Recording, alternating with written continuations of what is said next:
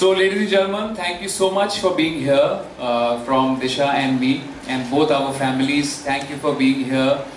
Uh, sorry, we are about an hour late. I don't know how, how much late we are. A little more than that. But you know, शादी ब्याह के मामलों में ऐसा हो ही जाता है इतनी देरी हो जाती है. But uh, actually, I would like Disha to speak first. And uh, we both actually want to thank you all for coming here and blessing us. Um, and I hope all your audiences, all the viewers, all the readers of the media houses, they really, really bless us.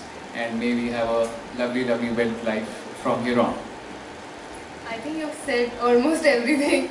कुछ बचा नहीं बोलने के लिए but uh, thank you everyone for coming here and uh, thank you to all the viewers and the readers who've been waiting for our wedding. I think पिछले दो तीन दिन से मैं बस खुद को ही देख रही थी Instagram पे but thank you for all the love. मतलब हम दोनों को देख रही थी sorry.